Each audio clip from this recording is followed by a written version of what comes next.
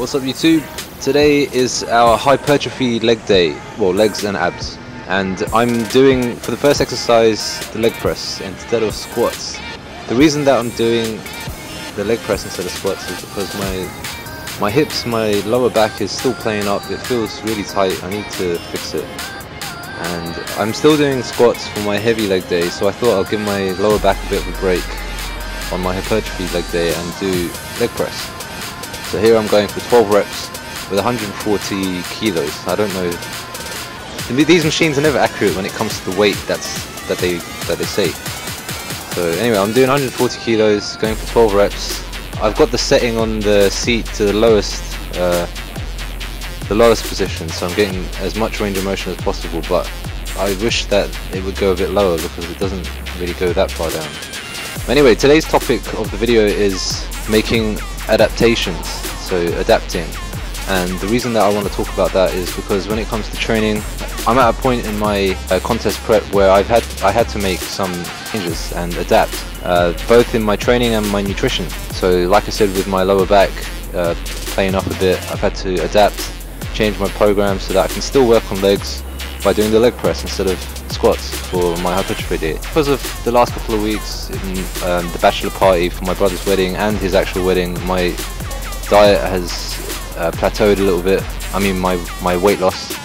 So I've had to change my diet. So now I'm my macros are about 240 grams of protein, about 100 grams of carbs. It's pretty low. I wanted to keep it higher as long as I could, but because my weight isn't dropping as quickly as I liked, so I had to make some changes and drop it even more. And my fats are about 60. So I'm getting about 2,000 calories a day at the moment, but then I'll do one refeed day at the end of the week. So probably on Saturday, so tomorrow from when I film this. So yeah, you saw us do calves. Uh, we thought we'd do calves uh, on, while we're on the leg press still. And then we hit some Romanian deadlifts. You can see my back isn't as arched as I normally do or I would have liked because of the lower back problem. I probably shouldn't have done this exercise today actually because it was feeling extra tight. But I did 110 kilos for 10 reps, 3 sets. We also did 3 sets on the leg press, 4 sets for calves. And then we started on abs. The first exercise we did were ab crunches on the exercise ball. Here I'm using 9 kilo, a 9 kilo medicine ball behind my head trying to get a full stretch over the ball and then really contracting the abs at the top, pausing slightly. This is one of the most painful ab exercises that I do and I think the reason for that is because of the stretch and the, the contraction. It's very controlled and you get a full range of motion which I think is really good. So going for 15 reps on that. The next exercise we did is the Russian twist I think they're called and this we did 12 to 15 reps on either side. And I feel I feel that these are great for the obliques. And the abs overall but mainly the obliques. Because you know the you're leaning back so your abs have to engage to maintain that position the whole time. And then the twisting motion obviously you're you're working the sides. So the sides of your abs the obliques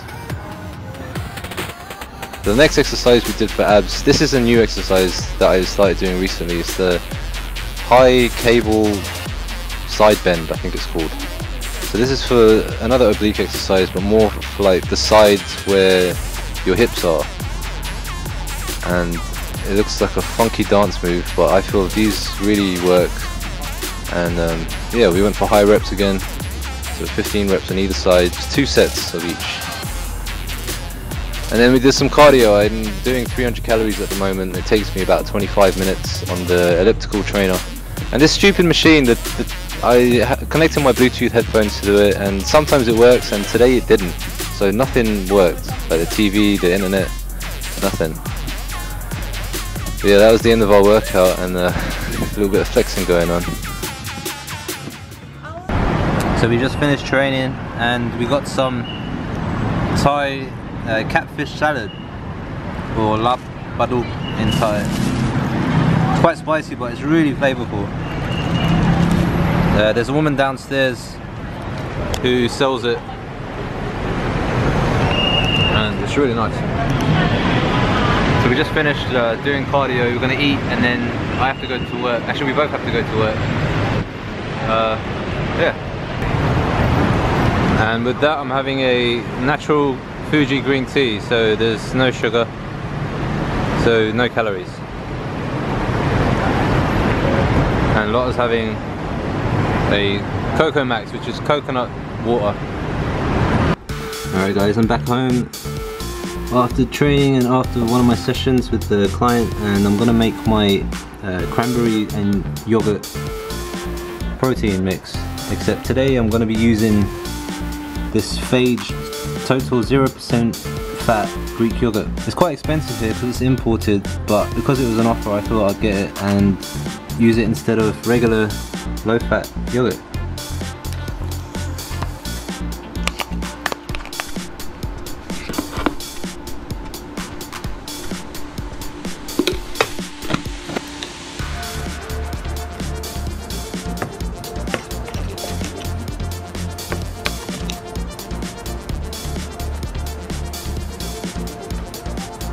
So I just had my hair cut. Probably isn't probably isn't how I'll style it at all.